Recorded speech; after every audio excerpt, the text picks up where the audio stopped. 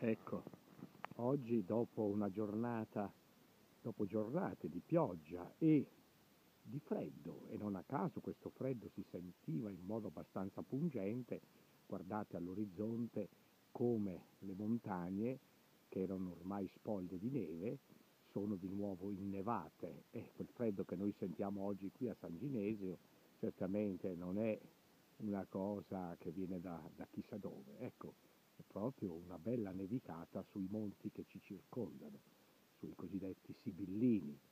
Eh, però non ha fatto danni qui a San Ginesio, meno male, questa pioggia. Anzi, oggi, terminate le varie piogge, la giornata si presenta tersa e meravigliosa.